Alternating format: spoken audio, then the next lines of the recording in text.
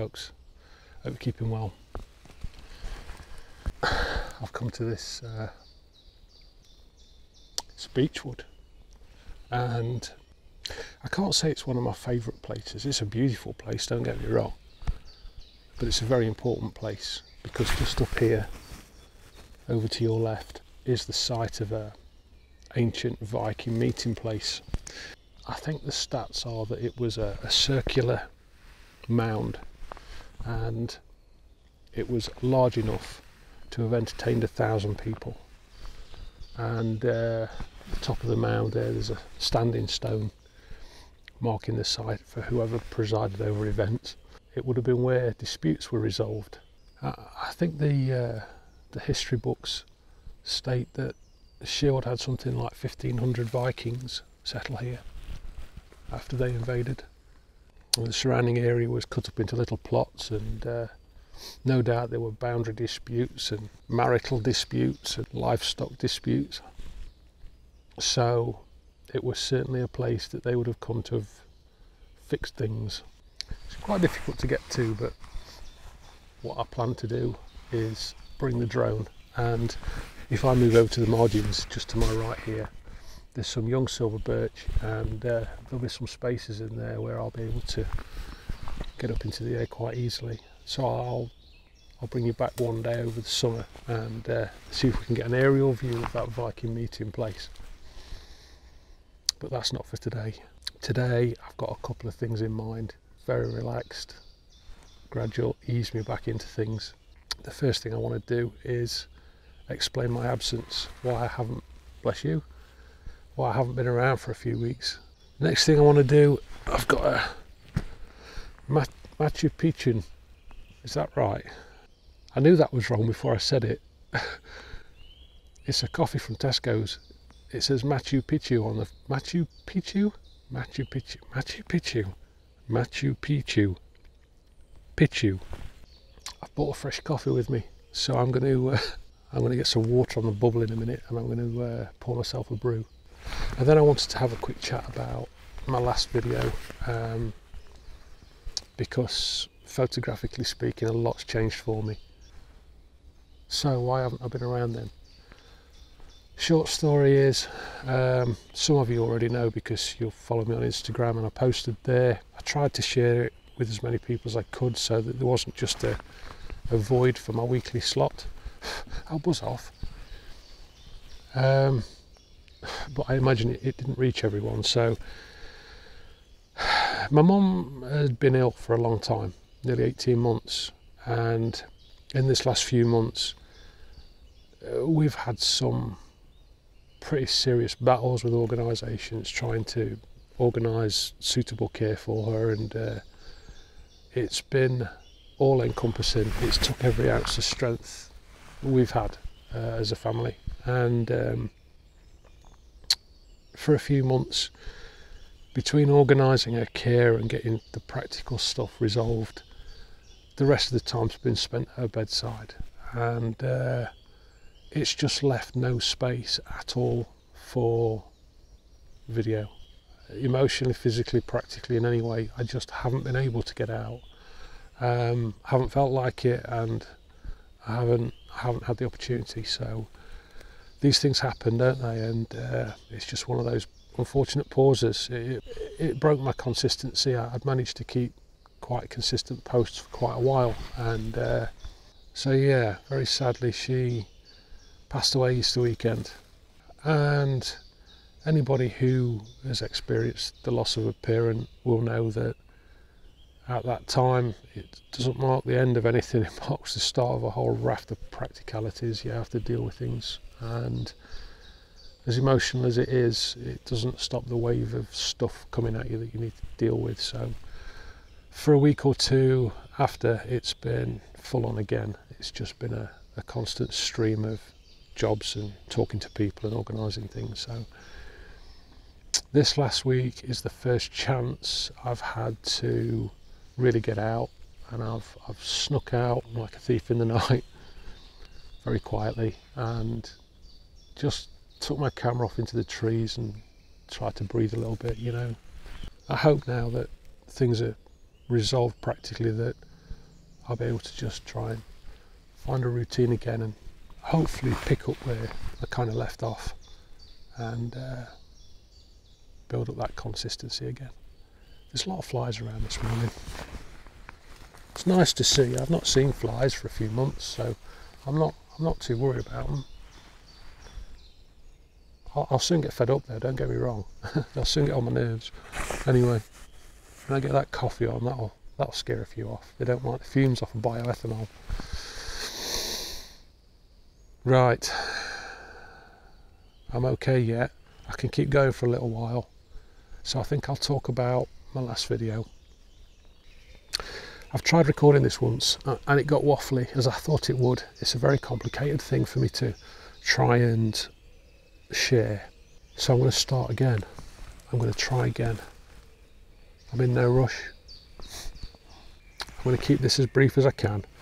It may mean that I miss out some bits and bobs. It might not come across complete and at the expense of that I think it's still okay because I'm just going to share the fundamental principle of this, which is that if you experience similar crisis moment, some sort of an issue with your relationship with photography, you don't know what the heck's happening, as I did, um, at least you'll know somebody else has suffered and you're not on your own. And that's really what this video is about. It's just me sharing my experience to try and let other people know people who are passionate about their photography, who really are serious as a creative outlet, not just a tool to capture stuff, as a creative process. If you suffer that identity crisis almost, as if you don't know why you're doing this anymore, I just want you to know you're not alone. That I think it's normal. I, I personally, having looked at other photographers and their journeys, I see this is repeated. A lot of famous photographers go through these times where they question why they're doing it. And it's never focused on, it's never given to us in detail. We're never told to expect this to happen to us. And that's what I'm doing today. I'm saying expect this to happen to you. Expect you're going to one day come home from a casual photo shoot, sit down, and lose the will to pick a camera up again and you don't know why. That's it. And I'm also going to give you just one tip, just one, to find fresh motivation above and beyond any that you had before, because that's how I feel today. I feel far more motivated to shoot today than I have done in the last few years. That's the truth. I think as photographers, serious photographers, I'll, I'll keep saying serious photographers because I'm talking about the ones that go to bed thinking about it and wake up thinking about it if it's in your blood or you feel like it is somewhere in your blood, serious photography. If you're constantly thinking about it and looking outside of photography to the visual arts for information, like I, I study some of the classical artists from the, particularly the 18th century, and I look at how they composed their art, how they studied chromatics. It motivates me, and I extract some of that information when I post-process my images. Serious photographers. I think there are two times when we face changes. There are for me. Um, the first time is when it's a conscious decision, when we make the decision ourselves. I, I think those times relate to mostly how we shoot or what we shoot. So I've made decisions about format, for instance. It, it, could be as simple as you change your camera every three or four years, or you change medium. So you might start to print, for instance, out of nowhere and choose to give it a go, or you may go to a four thirds camera or a medium format, or you might move to film from digital, or vice versa. How you shoot it can be a conscious decision that you take to make a shift somehow, a subtle change. And that's how we learn, isn't it? It's how we grow, it's how we evolve. Or what we shoot. We might be feeling that it's becoming a bit samey. We become over familiar with the subjects that we shoot. We might be shooting, say, portraits, and we decide that we want to get into macro, or we might be out shooting woodland landscape and we decide we want to get into boudoir. I mean, the opportunities to shoot different material are vast. So there's there's that. There's that conscious cognitive time where we as the photographer choose to make a, a shift, subtle shift in how or what we shoot. That's the first type. And then the second type is this unconscious, subconscious shift. Something makes us question not how we shoot or what we shoot, but why we shoot. And it comes from nowhere. For me, it certainly does, and for some of the artists I've I've seen experience similar shifts. I don't know a better word for it. It's not by design. They didn't deserve it, and it's quite it's quite a crisis. I have even seen some photographers talk about the time they sold their gear. And it came from or out of this period of uncertainty, not knowing why they were doing it, losing the motivation to shoot. And it's not because the subject doesn't motivate them anymore, because they end up going back to it in the end. Most of them do. you might put your camera down for a few years, but you're going to come back. So if you know that, if you know, which I didn't really, I hadn't pieced it together. I'd seen the stories in isolation, but I didn't really understand it.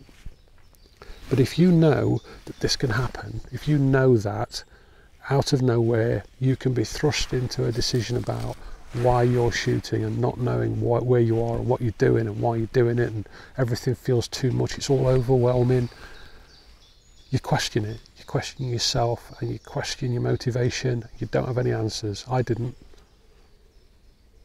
I think it's normal. I think it's part of the I think it's part of the learning curve. And if you're serious, if you're a serious photographer, if it means that much to you, as it does to me, I think you, you'll face this if you haven't already. And I'd be really interested to know if anybody has. Comments below, please. So I just want I just want this video to act as a sorry for my absence. I'm to get a coffee on in a minute. And if you face one or the other types of these changes in your photography and it feels somewhat overwhelming or you even feel like jacking in, then don't. Don't sack it off. Don't give up on it. And the, the tip I've got, the single tip that I have is this. Think about it in the context of the, the cognizant, conscious decisions that we make to change direction with our photography. That's one type, and that's natural, it's normal, it's routine, it happens regularly enough, and it helps us grow, it helps us develop, and it's healthy, I think. And then there's this other type and when this other type comes your way and it feels quite threatening, a little bit more severe perhaps, just don't don't think about how you shoot and don't think about what you shoot. Forget your subject, forget your gear, forget your medium, and just pay attention single mindedly to why you do it. Think about what it is that motivates you to get up at three o'clock in the morning or to go somewhere, to travel distance to a location just on the half hearted chance that you may have half a shot. Because we do it, don't we? We, we? we push ourselves that hard at times. But if you can find fresh motivation, if you can work out for yourself a new why, then you can only grow. It can only lead on to bigger and better things.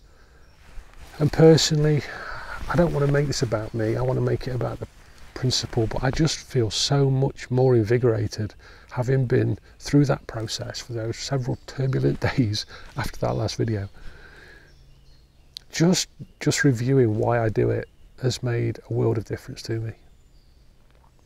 So that's that's the nutshell. That's it in a nutshell. And I, I, I just want to let people know that it's out there. It's coming for you. Be prepared. so practically then, what's changed for me, and what's coming? The thing that changed for me is the reason why I will get up at three o'clock in the morning. I want to keep this short. For years and years, I've known the Sherwood Forest National Nature Reserve is just over a thousand square acres. It's 1,046 square acres to be precise. Of ancient times, about 1200 AD, CE, AD CE, CE, current era, 1200 CE, it was reported that Sherwood Forest was in excess of 100,000 square acres. So many years ago, I put two and two together and realised that man has erased 99% of ancient Sherwood in 800 years. And it's not in the headlines. We don't talk about it. Irrelevant, doesn't matter. And I'm here saying it, it bloody well does matter. It really does matter. So I was motivated. I'm not going to get into any eco warrior blurb. I knew this place was under threat. We were down to the last 1% and it felt urgent. So I wanted to do something in the only way I knew how, and that was through photography, document this place, record this 1% as I know it to be today. And the second thing I wanted to do was to share it with people who aren't as fortunate as I am to have this on their doorstep. A lot of urban dwellers and coastal dwellers, hill dwellers a lot of people don't have access to woodland like this, ancient woodland. So it gave me an opportunity to share little slices of it with people who who like to see it.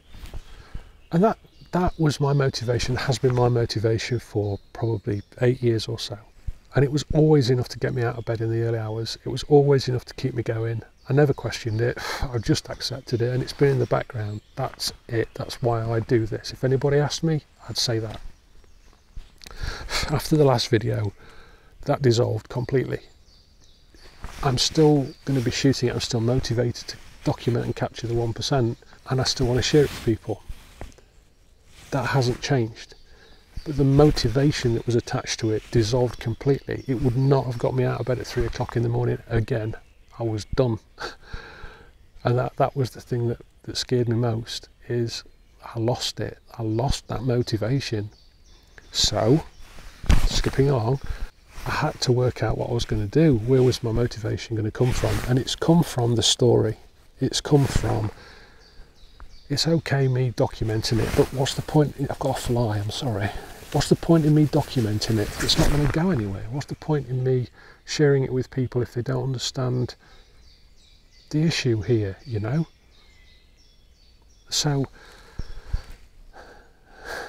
it's, it's detailed, it's complex. If we meet face to face and we have a cup of coffee, I'll bore the beans out of you for an hour or two just talking about this, but I won't do it today. It's just that my motivation now comes from finding ways to communicate the story through photography. So I'm looking for new ways to share what's important here, the real issues, the real the real substance behind the images. And that's going to get me up at three o'clock, no bother. that's going to get me coming back time and time again, no bother. I feel completely fresh about it, completely motivated. It feels new all of a sudden, and I've been shooting this place for a decade or, and longer, but seriously for about a decade. And if you think about this, this is this is the fundamental message. In a space of three days after that last vlog, I went from questioning whether or not I should sell my gear and pick a paintbrush up again to being more motivated than I have been in the last decade, which is nuts. That's such a swing of emotion, such a swing of drive. It's as if I, I don't know what it's as if. It's just nuts. It's just. It, it, hello, Bumblebee. Hey up, fella. Nice to see you around. Thanks for not stinging me. So yeah, it's nuts. It's just it's just nuts. I know it is. I know it sounds crazy, but if you experience it, maybe this video will help. Maybe it will just touch a nerve and you'll think, you know what, I'm okay. I'm not the only one it's going round a twist. So what fell out of it then? That was the shift in my motivation. But what fell out of that? And in that week, after that last vlog, I started three projects and it's to print three zines. I've got Sherwood 1, Sherwood 2, spelt the old English way, and a third called the 1% collection. And the first that will be printed is Sherwood 1. It's getting close towards pre pre production, and it'll be a zine format. It'll be a it'll be the higher end of the zine quality, but not quite printed book quality and that will afford us the opportunity to sell it at an inexpensive price. It can be a coffee table type publication.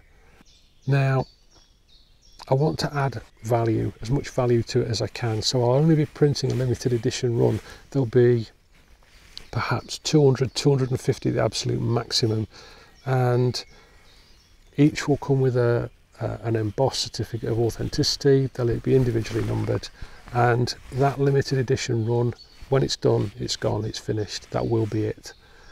Keeping it inexpensive means it can reach most people.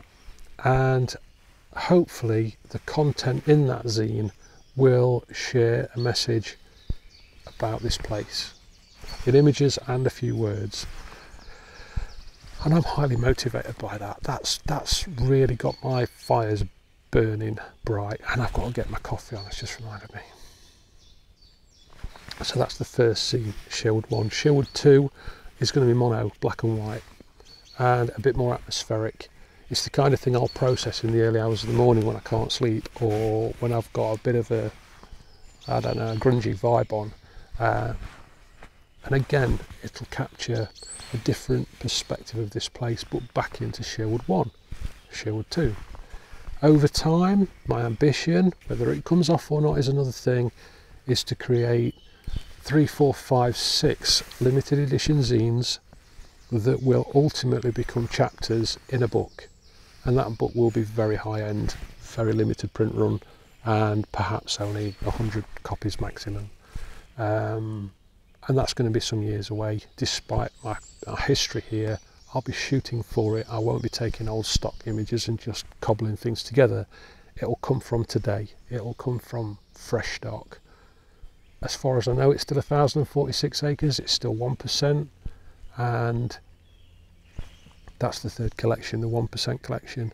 And that will be an independent zine, again, limited edition, but focused on the juxtapose concept of this place, images from this place, juxtapose images from the 99%. From the street photography I've, I've started to shoot, select images out there that contradict what we see here. It backs into the same thing. And I have several other projects that I'm already thinking about that are going to come forward as well. Some will materialise, some won't. So I'll keep them to myself for now. This is enough to be going on with. Excuse me. And it's certainly enough to get things started. So that's what practically fell out of the few days after the last vlog. And fresh motivation, and I'm looking at this place through completely different eyes, always thinking about sharing the story rather than just capturing the beauty. and that's amazing. It's just amazing. So, before I put my cup on, let me just check that coffee out. Machu Picchu, Machu Picchu, Machu Picchu.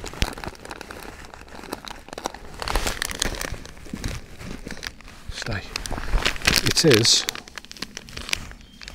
Peruvian coffee, and it says, I'm only quoting what it says on the packet. It says ridiculously good coffee. ridiculously good coffee, ridiculously good business. Cafe Direct. it's a four grit, full bodied with dark chocolate overtones, 100% organic Arabica. I'm going to try that anytime now. And I think I've taken up enough of your time. Thanks for sticking with me, folks. Sorry about the absence. I hope to get more consistent again very, very soon. And hopefully that won't break any time in the long term. But until next time, I'm going to say thank you very much for watching. Please take care of one another. And as ever, if you can't be good, just be careful. And I'll see you very soon. take care. Bye for now.